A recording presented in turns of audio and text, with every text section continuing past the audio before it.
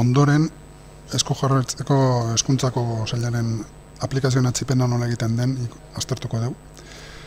Eta bere web nagusira e, atzitu ezkeo, ikusiko dugu ezkerraldeko behian dagoen e, esteka hori sakatu ezkeo, aplikazioen zerrera alegina, joango gineteke horrira. Baina, gertatu daiteke ziurtagiriak onartzea. Eta hau nabigatzaile desberdinetan desberdina denez, aztertuko ditugu banan-banan. Firefoxen adibidez, ateako litzateke abisu bat, konexio hau ez da fidagarria, B aldeko arriskuak ulertzen ditut estekan sakatu ezkeo, eta berriro gehitu zaulespena, eskuratu ziurtagirian sakatuko genuke eta berretxi segurtasun salbuespena. Internet Explorerren sinpleagoa da eta abisuan bakarrik e, baia este sitio web sakatuko genuke eta nahikoa da.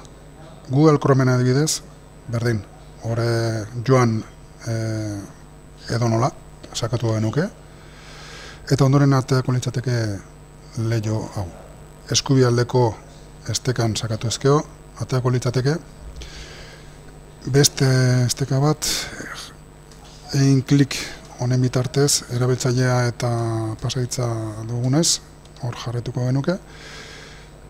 Eta lehen aldia balima da, edo pasaitza aldatu nahi balima dugu, klikatuko genuke hor, eta ditugun datuak sartu ezkeo, eta pasaitz berria bi aldiz ipiniz, onartu eman, eta bi lehio agertuko loriateke.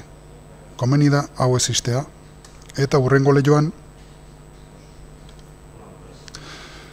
ja ikusiko genuke kuaderno didaktiko digital del profesor, esteka horretan sakatuz, berriro ondorengo estekan sakatuko genuke. Eta hori da dana.